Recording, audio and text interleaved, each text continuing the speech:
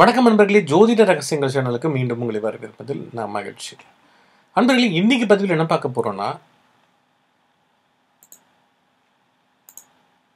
வாஸ்துப்படி நமது வீட்டை எப்படி அமைக்கலாம்? இல்லை இருக்கிற வீட்டை எப்படி வாஸ்துப்படி மாற்றலாம் இல்லை பொருட்கள் இதில் எல்லாம் சேஞ்சஸ் பண்ண முடியுமா? அப்படின்றத நம்ம இந்த பதிவில் நம்ம தெரிஞ்சுக்க போகிறோம் முன்னாடி நிறைய வீடியோக்களில் என்னென்னலாம் வாஸ்து முறைகள் பற்றி சில குறிப்புகள் பற்றி நிறைய தாந்திரிக விஷயங்கள்லாம் சொல்லியிருப்போம். அப்படி இந்த விஷயங்களை இதுலையும் பார்க்கலாம். இன்னைக்கு சூழ்நிலையில உடல் ஆரோக்கியம் சொத்து மற்றும் சொந்த பந்தங்களுடன் ஏற்படும் பிரச்சனைகளுக்கான காரணிகளை ஆராய கூட நமக்கு இப்போ நேரம் கிடைக்கிறதில்ல. அப்படி கடன் யோசிச்சு பார்த்தீங்கன்னா உங்களுக்கான ஏன் இந்த பிரச்சனை நடக்குதுன்றது நீங்களே கண்டுபிடிச்சிருக்கலாம். பெரும்பாலுமான இந்த பிரச்சனைக்கு வந்து பார்த்தீங்கன்னா வாஸ்து சாஸ்திரமுக்கும் சம்பந்தம் கண்டிப்பாக உண்டுங்க. ஆகவே சில கட்டளைகளை பின்பற்றினால் வீட்டில் உள்ள எதிர்மறை சக்தி நேர்மறை சக்தி கூடும். எதிர்மறை சக்தி குறையும் அதாவது பாசிட்டிவ் எனர்ஜி இன்க்ரீஸ் ஆகி நெகட்டிவ் எனர்ஜி கண்டிப்பாக குறையும். எப்போதுமே வீட்டுக்கோடின் நடுவில் திசை காட்டியின் உதவியோடு திசைகளை அறிந்து கொள்ளுங்கள். சரியா? முன்னாடியே நம்ம விஷயங்கள் சில விஷயங்கள் சொல்லியிருப்போம் போன வீடியோக்களில் இந்த வீடியோ பார்க்குறவங்க அந்த வீடியோவும் போய் பார்த்தீங்கன்னா உங்களுக்கு இன்னும் ஒரு தெளிவான விஷயங்கள் கிடைக்கும். அதாவது தென்மேற்கு மூலையில் எது எதெல்லாம் வைக்கணும் வைக்கக்கூடாதுன்றதை வந்து நான் உங்களுக்கு சொல்லியிருப்போம். அதே மாதிரி இப்போ அதோடைய கண்டினியூஷன் தான் இந்த வீடியோ. ஸோ இப்போது அந்த வீட்டோடைய நடுவில் திசை காட்டினா காம்பஸ்ன்னு சொல்லுவாங்க இல்லையா? உங்கள் மொபைலில் கூட காம்பஸ்னு ஒரு ஆப் இருக்கும். ப்ளே ஸ்டோரில் போனீங்கன்னா இன்ஸ்டால் பண்ணிக்கோங்க. அதை வச்சுக்கிட்டு எது ஈஸ்ட் வெஸ்ட்டு சவுத் நார்த் இதெல்லாம் ஃபிக்ஸ் பண்ணிக்கோங்க. கிழக்கு தமிழில் கூட இருக்குது கிழக்கும் இருக்குது தெற்கு வடக்கு கூட இதுன்றதை நீங்கள் பார்த்து வச்சுக்கோங்க.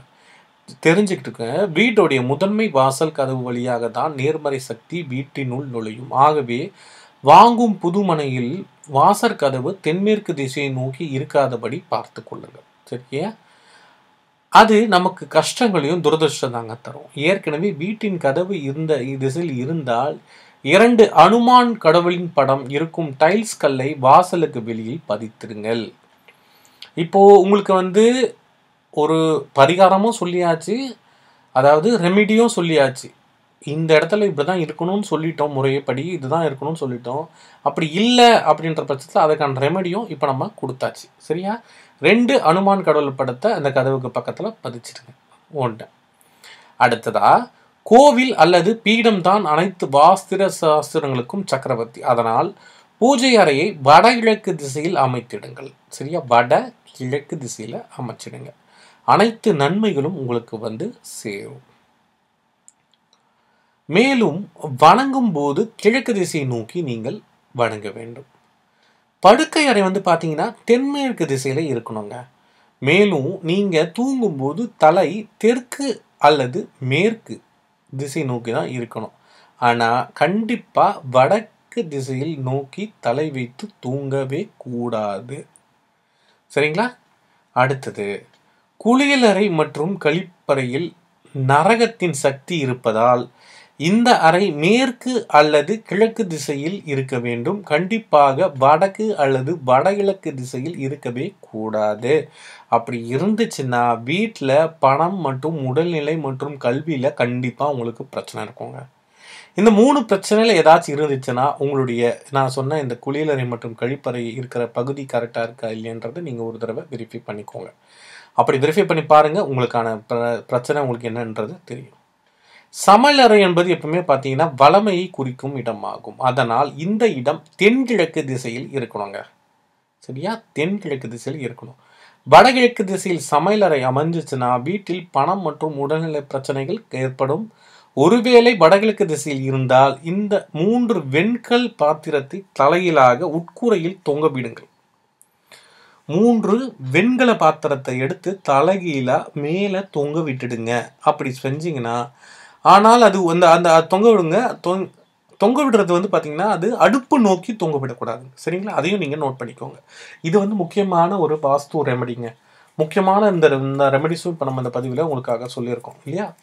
இதையும் நோட் பண்ணி வச்சுக்கோங்க. இது பண்ணிங்கன்னா உங்கள் வாழ்க்கையில் கண்டிப்பாக அந்த வீட்டில் இருக்க பிரச்சனைகள் கண்டிப்பாக குறையும். இது நிதர்சனமான உண்மை என்பர்களே. இது எல்லாமே வந்து சில பேர் வந்து அவங்க வீட்டில் யூஸ் பண்ணி பண்ணதுக்கப்புறம் நமக்கு கொடுக்கப்பட்ட சில விஷயங்கள் தான். இதை நம்ம இங்கே உங்களுக்காக சொல்லிக்கிட்டு இருக்கோம். இப்போது இது பார்த்தோம் இல்லையா? இப்போது இப்போ நம்ம பார்த்தது என்ன? நம்ம வீட்டுப்படி எப்படி வாஸ்துப்படி எப்படி நம்ம வீட்டை அமைக்கலான்றது பார்த்தோம். இப்போது வாஸ்துப்படி எத்தனை வாசல் நம்ம வீட்டில் இருக்கணும் அப்படின்ற மாதிரி சில பேர் டவுட்ஸ் கேட்டிருக்கீங்க. ஓகேங்களா? அதுக்காக தான் இந்த பதிவும் நம்ம இதுலேயே சொல்லிடுறோம். ஒரு வீட்டுக்கு வந்து பார்த்தீங்கன்னா முன்புற வாயில் பின்புற வாயில்னு ரெண்டு வாசல் இருக்கலாம். காற்று வந்து செல்வதற்கு ரெண்டு பாசங்களும் உதவுறதுனால இது போன்ற அமைப்புடைய வீடுகள் பலமையாகவும் ஆரோக்கியமாகவும் இருக்கிறது.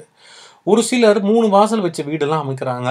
இதில் ஒவ்வொரு வாசலும் எந்தெந்த திசையில் உள்ளது என்பதை அறிய வேண்டும். முடிந்தவரை கிழக்கு அல்லது மேற்கு வடக்கு திசைகளில் வாசல்கள் அமைப்பது நல்லது. தெற்கு பகுதியில் வாசல் இல்லாமல் இருப்பது மிகவும் நல்லதுங்க. ஏன்னா தெற்கு பகுதி மிகவும் அபசுகமான பகுதி மிகவும் துரதிருஷ்டமான ஒரு பகுதி. அப்படி இருந்தால் வாஸ்து பார்த்து அதனை அடைக்கலாம். அடைச்சிடணும் கண்டிப்பாக அடைக்கணும். தென்கிழக்கு தென்மேற்கில் வாசல் அமைக்க கூடாது ஒரு சில வீடுகளில் ஹண்ட்ரட் பர்சன்டேஜ் தெற்கில் வாசல் அமையும். அதனால் அவ்வளவு பாதிப்பு ஏற்படாது. இப்போ உங்களுக்கு ஓரளவுக்கு வாஸ்து பற்றி உங்களுக்கு ஒரு ஐடியா கிடச்சிருக்கும். உங்களுக்கு ஏற்படுற சந்தேகங்களை எங்களுக்கு தாராளமாக நீங்கள் கேட்கலைங்க கமெண்ட் செக்ஷனில் அதை நாங்கள் அடுத்த பதிவில் உங்களுக்கு தெளிவான விடை உங்களுக்காகவே ஒரு புது வீடியோக்கள் மூலமாக அந்த உங்களுக்கு ஏற்படுற கிளாரிஃபிகேஷன்ஸ் எல்லாத்தையுமே நம்ம தீர்வு சொல்லுவோம். ஏதாச்சும் கிளாரிஃபிகேஷன் இருந்தால் கீழே கமெண்ட் செக்ஷன் கேளுங்க. இந்த வீடியோ உங்களுக்கு பிடிச்சிருந்தா லைக் பண்ணுங்கள் உங்கள் ஃப்ரெண்ட்ஸ் அண்ட் ரிலேட்டிவ்ஸ்க்கு ஷேர் பண்ணுங்கள் மறக்காமல் சேனலை சப்ஸ்கிரைப் செய்யணும். நன்றி. வணக்கம்.